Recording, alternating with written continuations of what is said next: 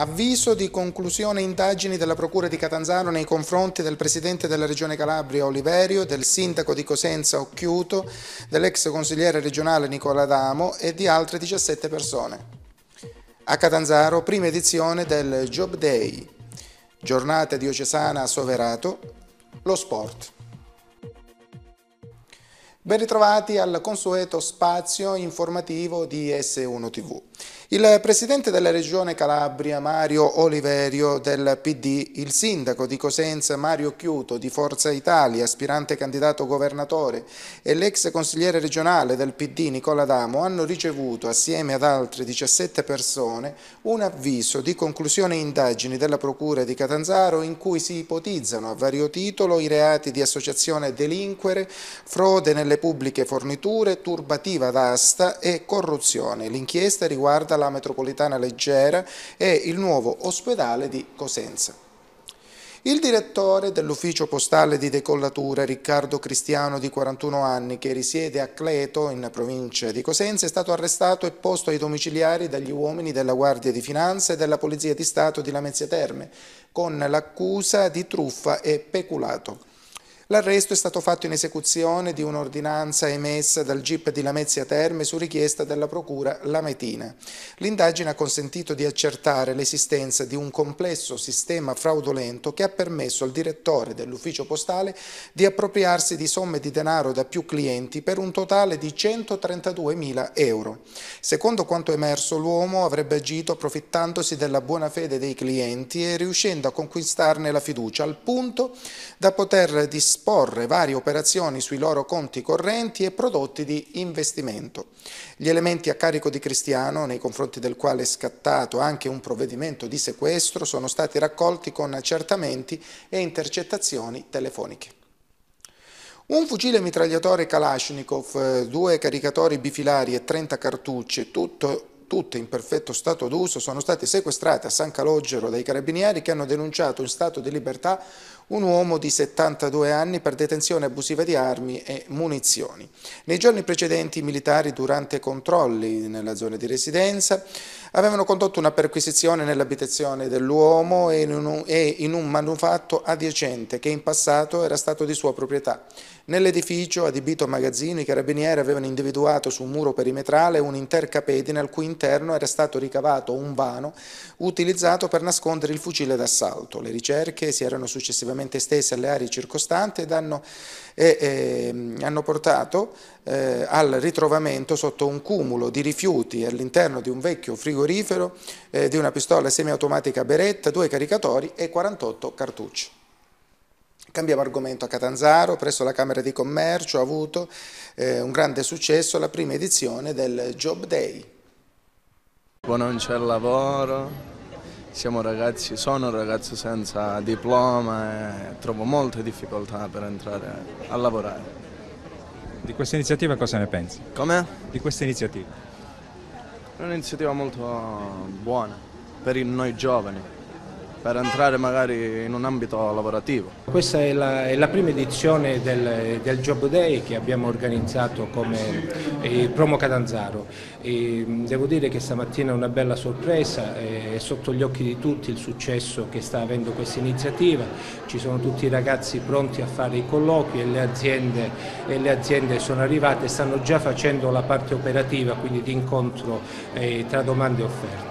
Fra poco inizieremo anche la parte diciamo, del convegno. È sicuramente un'iniziativa importante alle porte della stagione estiva, ancora di più eh, io rappresento un hotel, il Mirabeau Park Hotel e stiamo ricercando personale eh, proprio per, per la stagione eh, diciamo che eh, questa iniziativa eh, si configura all'interno di uno scenario un po' particolare, che quello, da una parte diciamo, c'è un tasso di disoccupazione elevatissimo, dall'altro comunque noi aziende, soprattutto nel settore ristorativo e ricettivo, abbiamo sempre di più difficoltà nel ricercare il personale, quindi questa è una eh, delle iniziative che possono aiutare a colmare questo gap. Questo è un evento unico nel suo genere. Il merito è della Promo Catanzaro e della Camera di Commercio. Noi come partner abbiamo fatto nostra questa iniziativa per fare in modo che eh, ci potesse essere la migliore eh, animazione territoriale, ma non solo, abbiamo dato anche attività di consulenza su quelle che erano le potenzialità di questa iniziativa, le modalità di partecipazione e anche quali erano i termini di scadenza per poter accedere all'evento Job Day. Io credo che è un evento molto importante e sarà nostra cura poi analizzare quelli che sono gli aspetti positivi e gli aspetti negativi per fare in modo che ci possa essere poi in una fase successiva una seconda poll. Noi eh, stiamo lavorando in questi termini eh, con tutti i partner istituzionali, con le associazioni di categoria. Abbiamo fatto nostra questa iniziativa, come ho detto prima, portando avanti quel concetto di rete che ha come unico leitmotiv quello di riuscire a fare di ogni singola iniziativa, sia essa collegiale oppure a iniziativa di un solo progetto istituzionale, abbiamo fatto in modo che eh, possano essere le iniziative di tutti. Beh, diciamo oggi 566 iscritti, ragazzi soprattutto che cercano un lavoro. Abbiamo, l'ultimo dato parla di 52% di disoccupazione giovanile in Calabria, quindi 56 566 ragazzi che sono iscritti al Job Day con 30 aziende della provincia di Catanzaro che ricercano personale. Oggi mettiamo, eh, uniamo queste due realtà che sono fondamentali, le aziende e i lavoratori. Oggi se dalla Camera di Commercio uscirà anche un solo posto di lavoro, per noi abbiamo raggiunto eh, uno scopo importantissimo per questa terra, per questa provincia, per questa, questa regione è un dato importante, è, un, è, una giornata della concretezza direi, è un Tetris, è una combinazione di mettere due realtà insieme. A Soverato invece nei locali dell'oratorio si è svolta la tradizionale giornata diocesana.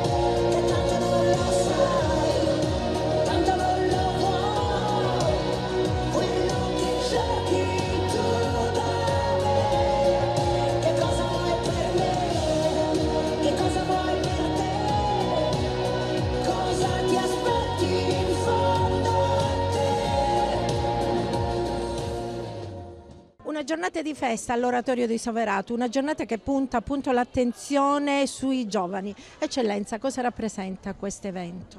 È, è, la giornata dei giovani di tutta la diocesi che eh, si svolge quest'anno a Soverato, anche per eh, le belle strutture che ci sono e che i padri salesiani hanno messo a nostra disposizione. Il lavoro con i giovani si svolge in ogni parrocchia mettersi insieme una volta all'anno per quasi fare sintesi di un lavoro dell'anno è una cosa che si fa tutti gli anni, quindi niente di nuovo. Quest'anno riveste un particolare, un particolare significato perché c'è stato un sinodo sui giovani, quindi si riflette sul documento che il Papa ha dato ed è un invito ai giovani a prendere la loro, la loro vita e a mettere a disposizione degli altri convinti della presenza del Signore nella nostra vita, nel nostro cuore, perché la illumina, ci dà forza e ci dà il coraggio di superare le difficoltà. Tenuto conto, e questo il Papa lo, mm, lo sottolinea, che tanti giovani e meno giovani stanno peggio di noi, invitandoci anche a piangere per poter comprendere le loro sofferenze e poterci coinvolgere come meglio possiamo nel dare il meglio di noi, non solo qui, ma forse anche fuori da qui, fuori dalla nostra Calabria, dove certamente abbiamo tante difficoltà, ma c'è altra gente che sta peggio di noi. Allora dico, ho detto ai giovani siate buoni, siate bravi, camminate verso la santità e lo ripeto anche attraverso questo mezzo che ringrazio. Buona domenica. Sì, grazie eccellenza, buona domenica. Qual è l'augurio quindi che lei rivolge ai giovani in questo momento e in questa società in cui si sono persi i valori e cerchiamo tutti quanti di farli riacquistare? Coltivare il benessere spirituale che è fatto di qualità belle, qualità umane, è fatto di virtù, è fatto di cammino di santità, è fatto di bontà. Tanti auguri.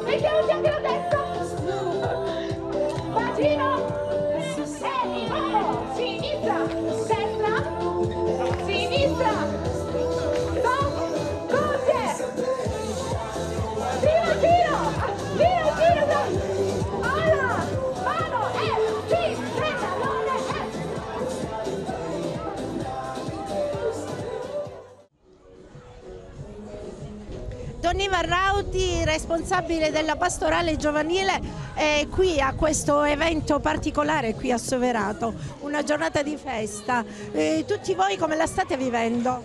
Beh, è una, una giornata che diciamo, ogni anno di solito facciamo, quest'anno qui a Soverato, è la giornata diocesana dei giovani che coinvolge diversi ragazzi da parte della diocesi. E quest'anno con, eh, ha come tema la frase che cosa vuoi da me, che rievoca una canzone dell'ultimo Sanremo, ma che lancia anche un messaggio perché eh, il riferimento è al, al, Vangelo di Luca, Maria che dice ecco la serva del Signore, per cui è un po' la domanda che Maria rivolge al Signore, che cosa vuoi da me, no? Che cosa vuoi che io faccia? Quindi non è una provocazione, è un po' l'invito a tutti i giovani a scoprire nella propria vita la presenza di Dio e a dire di sì alla sua chiamata. Ci sono rappresentanti giovanili, giovani di, le, di tutta la diocesi, quindi un po' da vari paesi. Idealmente sì, chiaramente non sono tutti giovani, non ci sono tutte le parrocchie, però eh, ci sono dei rappresentanti sì, di diverse comunità, ci sono anche ragazzi del centro calabrese di solidarietà che partecipano volentieri. Questa mattina abbiamo celebrato la Santa Messa con il nostro Vescovo, pomeriggio avremo Giovanni Scifoni, questo attore anche abbastanza conosciuto per le sue performance eh, sui santi, abbastanza originali che si trovano anche su Facebook, su YouTube, e, che farà una, una pièce, chiamiamola così, teatrale dal titolo Anche i santi hanno i brufoli. Rileggerà la vita di alcuni santi in chiave moderna, anche accessibile a tutti. In questo momento ci sono anche dei gruppi coreografici? Sì, c'è un gruppo che cura l'animazione, la Maison de la Dance, e un po' di animazione di balli latini, faranno anche alcune coreografie essendo appunto il loro lavoro, ma lo fanno qui come, come dono, non come lavoro, come mestiere.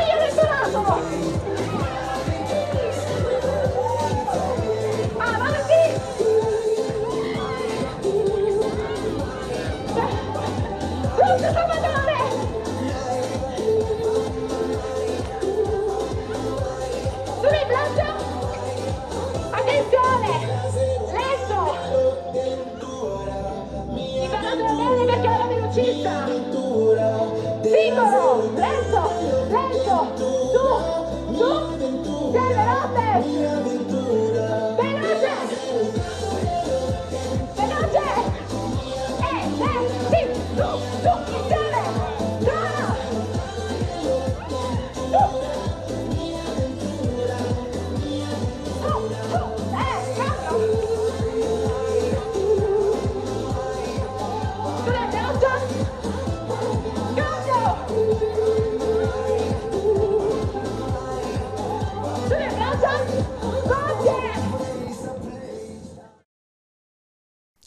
Lo sport, calcio, amara sconfitta per la Vigor Lamezia che perde in casa con il Belvedere.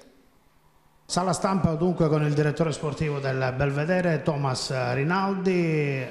Anche questa volta avete beffato la Vigor Lamezia, ma questa volta è un risultato pesantissimo perché eh, siete arrivati in finale. È un risultato pesante e sudato. E è stata una bellissima stagione e siamo contenti di avere l'opportunità di poter continuare a cercare di fare bene.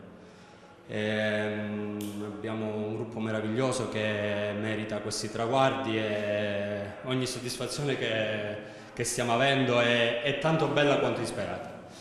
Poi voglio dire, arrivare addirittura in finale, però già era stato un grande risultato fare i playoff, però per voi arrivare in finale è veramente un, quasi un miracolo, un'impresa. È davvero è un'impresa, è davvero un'impresa. E si è visto a fine partita nell'esultanza che è stata veramente un, uno sfogo, una gioia, vedere i sorrisi dei ragazzi è qualcosa di meraviglioso perché abbiamo costruito una, una bellissima realtà e se questi sono i frutti siamo, ne siamo davvero, davvero felicissimi. Partivate appunto con lo sfavore perché giocavate in campo avverso, due risultati su tre, alla fine avete trovato l'episodio vincente. Eh, diciamo che ci siamo creati questa piccola fortuna all'episodio vincente a pochi minuti dalla fine. Ripeto è stata una gioia, una gioia assoluta. Io ancora come vedete non riesco a crederci e ce la godremo ce la godremo. Abbiamo quest'altro passetto da chiamiamolo passetto da fare ma come avete detto voi prima è già una bella impresa essere qui e tutto quello che verrà è tutto di guadagnato adesso eh, il Belvedere possiamo dire che è favorito perché arriva mentalmente meglio a questa finale col Sambiase eh, però il Sambiase diciamo che è una bellissima realtà, è stata una squadra che ci ha sempre messo in difficoltà durante, nel, nel, nel, doppio scontro in campionato, fatta da grandissimi giocatori, un grandissimo staff, eh, un grandissimo mister. Eh, eh, sì, partiamo favoriti magari per la forma, ma sono altri 90 minuti da giocare. Claudio Morelli, dunque allenatore Vigor Lamezia, un episodio castiga la Vigor Lamezia, certo non è stata la migliore Vigor Lamezia, ma quell'episodio vi è costato una stagione praticamente. Eh, purtroppo devo dire che non siamo stati bravi e nello stesso tempo fortunati nel, nell'ultimo momento di, di stagione. Ho avuto la squadra con tantissimi, tantissimi infortuni, tantissima gente che è arrivata in questo epilogo non al meglio, eh, forse non, non, doveva finire così, sono il primo io dispiaciuto insieme alla squadra, ma il calcio, è, il calcio purtroppo è questo e bisogna accettarlo. Sì, perché poi ripetiamo, Belvedere è stato lì, non ha mai praticamente tirato in porta, ma ripetiamo, la la sua squadra magari se avesse provato di più a fare qualcosa, allora magari l'episodio non vi puniva, però non avendo fatto gol, insomma alla fine è arrivato questo sì, sì. Ma perché non ce la faceva la squadra? Mm, non so che, cioè, mm, ho visto, voglio dire, la squadra che non era nelle migliori condizioni, questo l'ho notato. Infatti ho dovuto fare, si, si è visto tanti spostamenti per, per, per infortuni, per, per, altre situazioni che si sono verificate, l'infortunio a Mercuri, l'infortunio a, a Tripodi e quindi ho dovuto cercare sempre di, di mescolare un po' le carte, ma a parte questo, ripeto, non, non, siamo stati bravi, ma neanche quel pizzico di fortuna ci ha aiutato in alcuni momenti che forse poteva cambiare le sorti della stagione. Quindi insomma, solo episodio oppure magari la squadra poteva dare qualcosa in più, anche insomma, visto che l'avversario comunque era un po' rinunciatario. No, no, ti, ti, ripeto, noi dovevamo essere più, più, cattivi, più pronti per poter affrontare, azzannare questa partita, azzannare questa squadra. Eh, nei momenti della partita diciamo, più importanti non l'abbiamo fatto, e sta partita è scivolata così mh, su un risultato dove ci ha penalizzato negli ultimi, negli ultimi minuti, e, ma ripeto, non sto qui a voler giustificare niente perché... Eh, mi prendo le mie responsabilità, eh, so che dovevamo arrivare nella, nella, almeno alla finale, questo non l'abbiamo fatto, questo mi dispiace veramente tantissimo, eh, sono, sono molto dispiaciuto, rammaricato, eh, andiamo avanti. Peccato dopo un girone di ritorno chiudere così, insomma, non arrivare nemmeno alla finale, con un bel vedere che si è confermato bestianello. Eh, purtroppo sì, purtroppo non arrivare alla finale è stato, è stato un epilogo amaro. E dispiace tantissimo, sia a me che a tutta la, tutta la squadra, non aver potuto regalare questa finale alla società che meritava. Una società che ha fatto di tutto per poterci mettere nelle condizioni migliori per poter ehm, diciamo, far bene. Dispiace, non ho altre parole perché son, non si trovano in questo momento né giustificazioni né altro. Dico solo che ci assumiamo le nostre responsabilità, sappiamo che dovevamo e potevamo fare di più e così non è stato. non ho altre parole. E questo per oggi è tutto, noi vi ringraziamo per la cortese attenzione, vi diamo appuntamento alle prossime edizioni del nostro telegiornale.